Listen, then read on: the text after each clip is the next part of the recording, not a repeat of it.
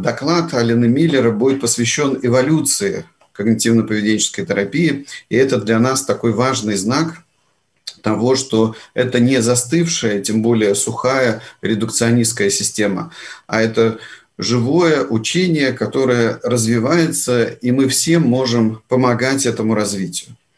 Поэтому позвольте перейти к своему докладу, э, который будет посвящен специфике э, методологии когнитивно-поведенческой терапии.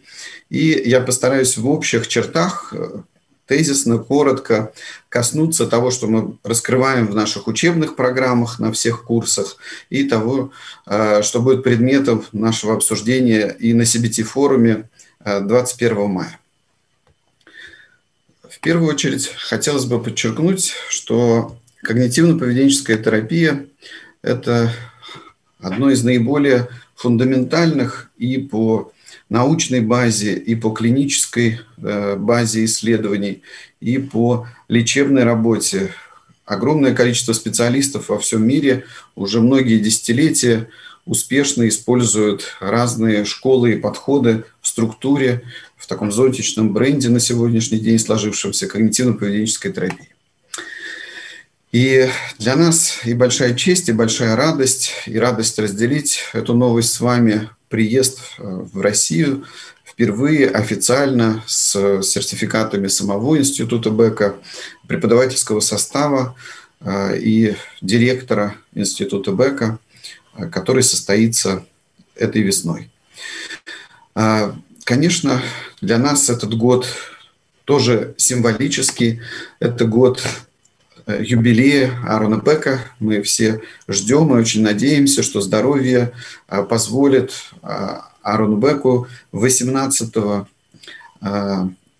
июля 20, 2021 года отметить свой столетний юбилей. 18 июля 1921 года Аарон Бек – Э, родился в Соединенных Штатах, но в семье выходцев из России, поэтому для нас это тоже такой символ и знак э, сопричастности и с нашей историей, и такого взаимодействия, э, несмотря на все сложности политические и иные между странами. Это такие живые мостики нашего общения, нашего научного и практического сотрудничества.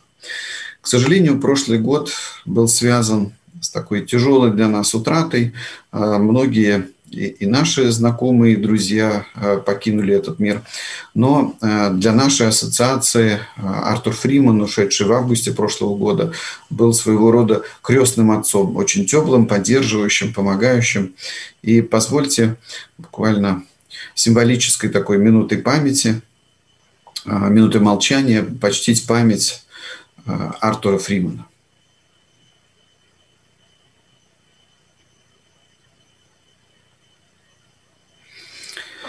Спасибо большое. Конечно, мы будем помнить об Артуре и очень многие его книги и статьи, и его курсы, которые он преподавал, и для э, участников и слушателей нашей ассоциации останутся с нами, и мы будем стараться развивать его дело.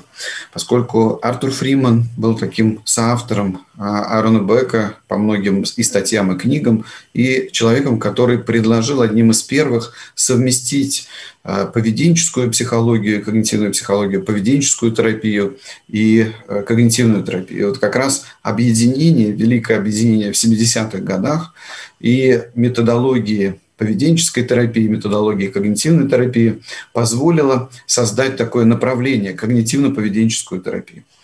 А бихевиоризм, на который опирается поведенческая терапия, и когнитивная психология, на которую опиралась в свое время когнитивная терапия, рациональная мотивно-поведенческая терапия, Эллиса а, позволила раскрыть такой черный ящик и Уотсона, и Скиннера, и увидеть, что у человека а, важную роль играет субъективная реальность. Говоря словами Альберта Эллиса, который цитировал философов-стоиков, а, не вещи расстраивают нас сами по себе, а наше отношение к вещам. И вот работа с этим отношением позволяет использовать такой комплексный подход – где не только внешняя среда и ее обстоятельства, не только внутренняя биологическая среда и ее обстоятельства, но и совокупность этих процессов наряду с ментальными, э, психическими и субъективными процессами играют важную роль в развитии реакций, иногда дисфункциональных. И эмоциональные, и поведенческие, и физиологические реакции являются следствием не только, а в некоторых случаях даже не столько внешних триггеров, но и той призмы, через которую они проходят.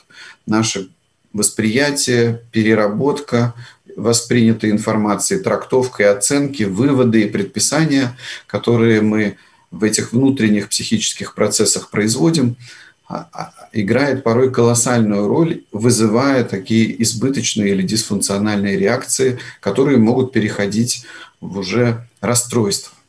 Поэтому если говорить о методологии когнитивно-поведенческого подхода, то мы в нашей ассоциации используем три метафоры, которые раскрывают такой внутренний мир человека и одновременно его как сложную открытую систему. Первоначально во многих работах, начиная с идеи Рене Декарта, автора термина «ондулатио-рефлексия», мы э, видели рассмотрение человека как такой биологической машины. И в этом процессе, конечно, важную роль сыграли открытия Ивана Петровича Павлова, который, получив Нобелевскую премию за иннервацию пищеварения в 1904 году, а, показал себя как авторитетный ученый в мире физиологии, как признанный ее лидер. Но за год до этого, в своей мадридской речи 1903 года, он рассказал о своей теории высшей нервной деятельности. И поэтому его рефлексы, э, условные рефлексы, так называемые, стали таким атомарным уровнем поведения, в котором мы э, увидели отражение механизмов и принципов работы этой сложной системы. И это стало предтечей мыслей уже Джона Уотсона, который в своем манифесте бихевиористов в 1913 году отразил такой принцип стимул-реакция, легший в основу бихевиоризма, где рефлексы человека вышли на первый план. Но 20 век подарил нам метафору компьютера, где его программы, как система знаков и символов и кодов, организуемых на их основе, раскрыл следующие очень важные идеи Ивана Петровича Павлова. Э, в теории высшей нервной деятельности он описал то, что рефлексы бывают не только простые, не только это текущие слюной собаки, но и сложные рефлексы, где он выделил первую вторую сигнальную систему, где первые сигналы – это сигналы реальности, которые мы получаем перцепторно через наши органы чувств, такие как зрение, слух, обоняние, осязание, вкус, а вторые сигналы – это дубликаты этих сигналов, которыми мы пользуемся в нашей внутренней действительности, в нашей внутренней системе, которую когнитивно-поведенческая терапия рассматривает как такую внутреннюю вселенную со своей картой, которая описывает эту внутреннюю территорию, такой внутренний космос. И известная метафора Альфреда Коржибски, учителя и наставника Альберта Эллиса, что карта не есть территория, говорит о том, что наши убеждения, как система представлений, могут быть ошибочными, могут быть искаженными или иррациональными по Эллису, или дисфункциональными по Беку. И вот изучение как внешних стимулов для человека, как внутренней его субъективной реальности очень важная часть работы когнитивно-поведенческого терапевта. И диагностический инструментарий позволяет эту работу осуществить на качественном уровне, несмотря на то, что это очень труднодоступный материал, где нам необходимо сотрудничество с самим человеком. И здесь э, на сегодняшний день ведущим принципом ведущим элементом когнитивно-поведенческой терапии является сотрудничество. Без этого сотрудничества настоящей когнитивно-поведенческой терапии не происходит, поскольку а, следующий шаг, такая уже метафора 21 века, это система социальных сетей, и где наша нейросеть является примером и аналогом, но уже не единичным, а включенным в суперсистему, где наш такой суперкомпьютер соединяется еще через социальную коммуникацию с другими суперкомпьютерами, с другими открытыми сложными системами. И мы часть других уже больших чем мы систем. Суперсистем, как микросоциум семья и макросоциум страна, этнос, мир.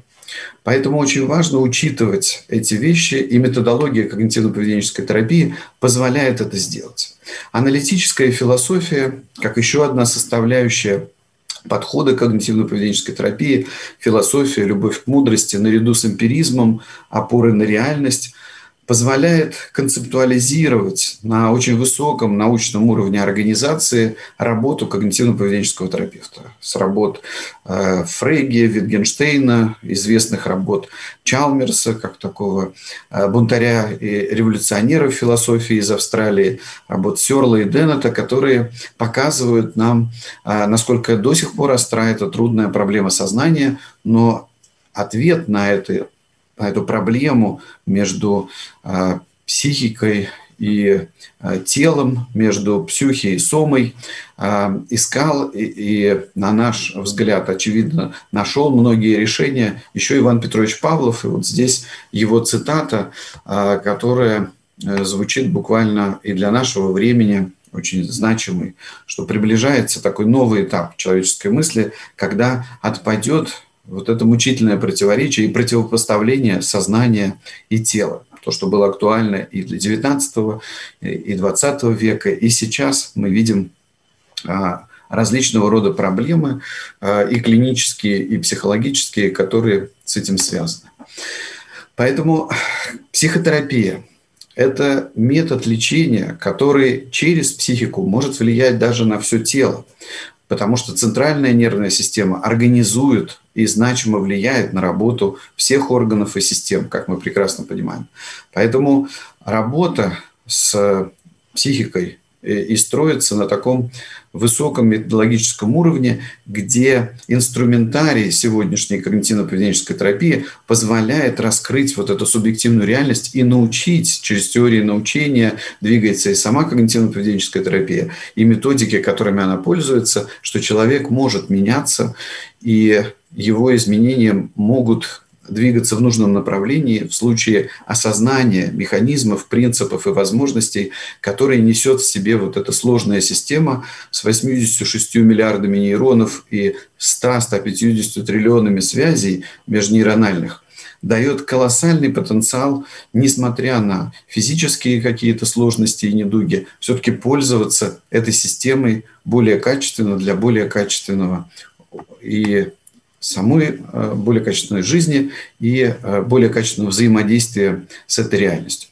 Поэтому гипотезами, которые используются в когнитивно-поведенческой терапии и описаны в работах такого известного методолога, как Кит Добсон, президент Всемирной конфедерации когнитивно-поведенческой терапии, куда входят все мировые крупные ассоциации когнитивно-поведенческой терапии, наша в том числе – это гипотеза доступности, что мы можем осознавать сами себя, что феномен человека отражает принцип эмерджентности, принцип, где целое – это не кусочки, собранные вместе просто суммой, а целое – это система, которая больше, чем сумма частей ее составляющих что у системы появляются функции, которые не сводимы к отдельным частям, к отдельным кусочкам. Один нейрон еще не есть психика.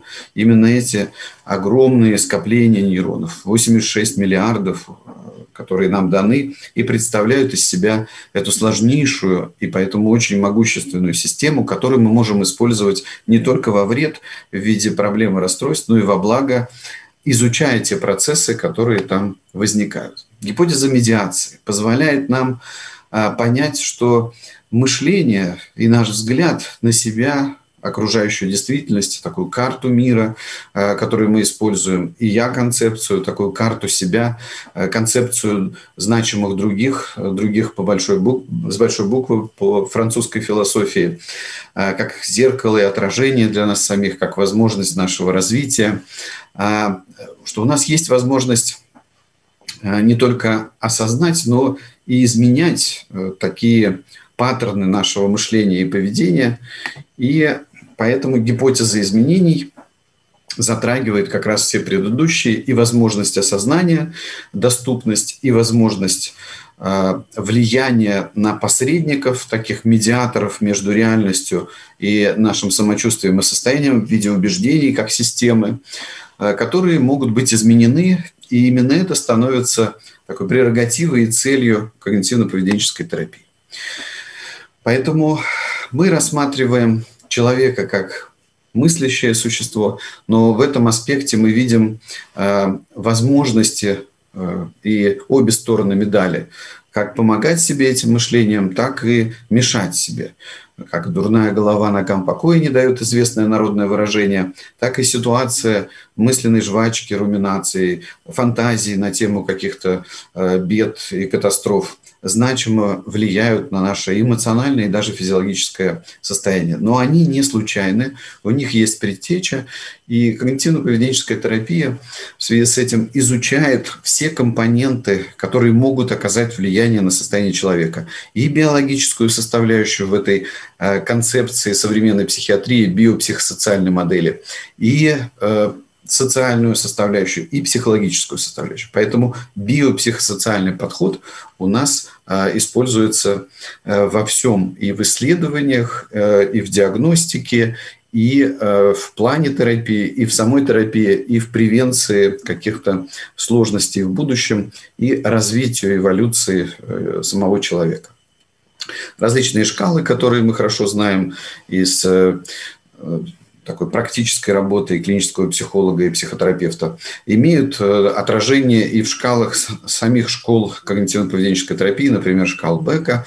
Но здесь из исследований, биологических исследований, э, таких просто симптомов, мы чаще всего э, получаем такую первоначальную информацию. Гораздо более раскрывающими является информация, которую мы черпаем из клинического интервью, из личной персональной истории, lifetime data и семейной истории, контекста, том числе и микросоциум, и макросоциум, в котором находится наш э, клиент или пациент.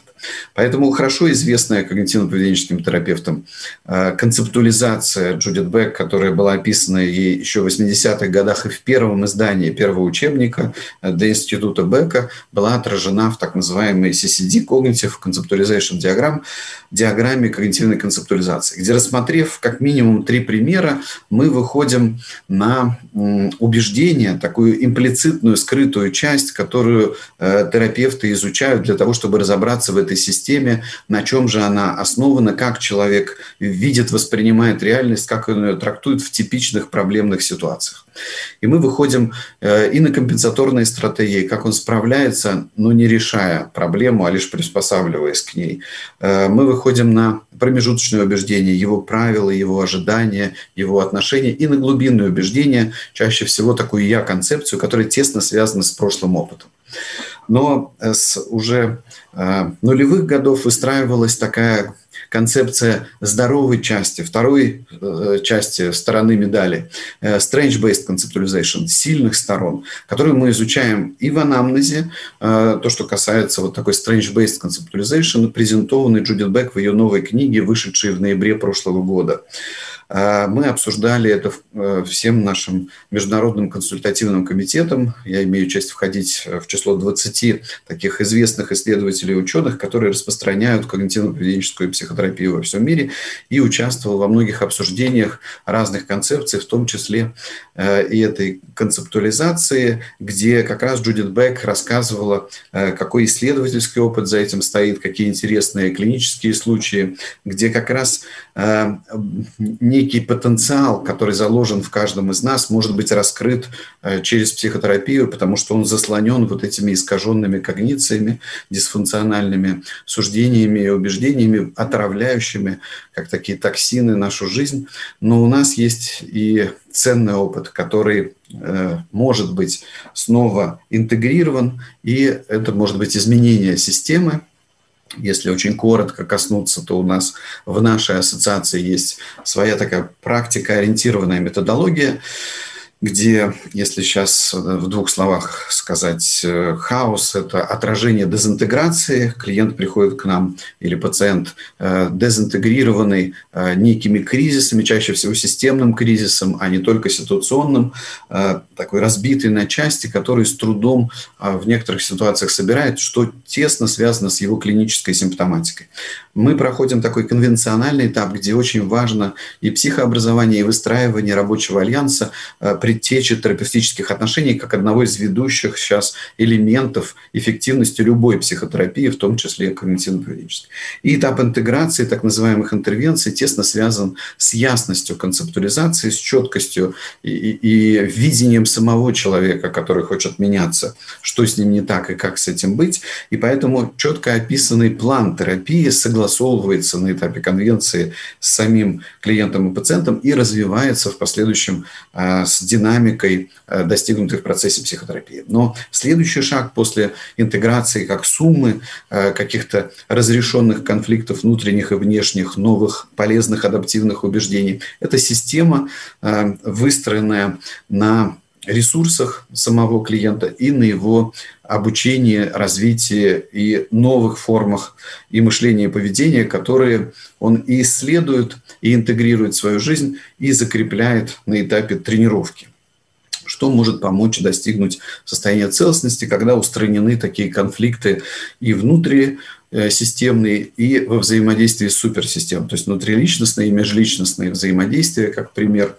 а, которые позволяют достигать вот таких состояний внутренней гармонии и баланса. Это если очень коротко отразить эту практическую а, идею практической методологии. Также хотел вас буквально как анонс познакомить с концептуализацией, которую э, мы с коллегами э, в нашей ассоциации разрабатывали не то что не один год, а не одно десятилетие. И это такая э, сумма или синтез, уже некая выжимка из наших и исследований, и клинической работы, и нашего практического опыта. Поэтому хотели бы поделиться и более широко представить уже ее научной встрече 21 числа и потом в публикациях. Модель концептуализации, которую вы хорошо знаете и видели ее уже на многих наших обучающих семинарах.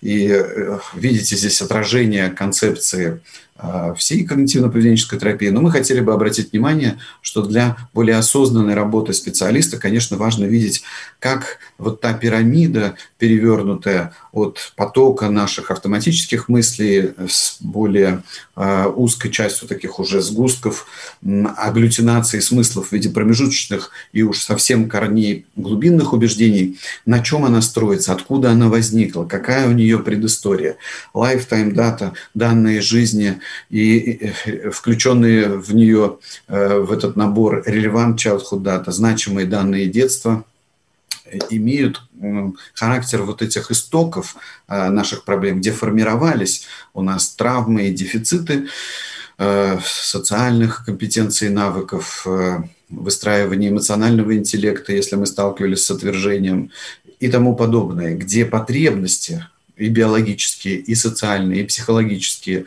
не были удовлетворены, что привело к формированию вот таких искаженных э, корней и стволов, и веток, и уже плодов, на которых растут наши клинические и психологические симптомы. Э, поэтому контекст и социальный, и контекст Э, микросоциума семьи и контекст макросоциума, и контекст биологический, и контекст психологический. Вот то, что мы изучаем системно, и у нас есть для этого качественный, надежный, валидизированный инструментарий. И мы хотели бы поделиться с вами, дорогие коллеги, новыми такими и исследованиями, и данными от Института Бека и от нашей ассоциации 21 мая в гостинице «Москва» на CBT-форуме 2021. Спасибо большое за ваше внимание, и я готов перейти к вопросам, если они есть, для того, чтобы, может быть, уточнить какие-то моменты из этих тезисов, которые пришлось описать ультра, конечно, коротко. Итак, коллеги, есть ли какие-то вопросы? Сейчас я постараюсь посмотреть, может быть, в каких-то еще мессенджерах э, мне пересылают часть нашей команды какие-то сообщения. Хорошо, если таковых нет. Они будут копиться, возможно, в других формах мы сможем на них ответить, но не буду занимать время, которое отведено моим коллегам для выступлений. Очень много впереди насыщенных, ярких, интересных и важных для практики докладов, поэтому с удовольствием передаю слово моей коллеге и другу Марине Вионерне Земляных, преподавателю нашей ассоциации и известному эксперту по детско, детской и подростковой когнитивно-поведенческой терапии.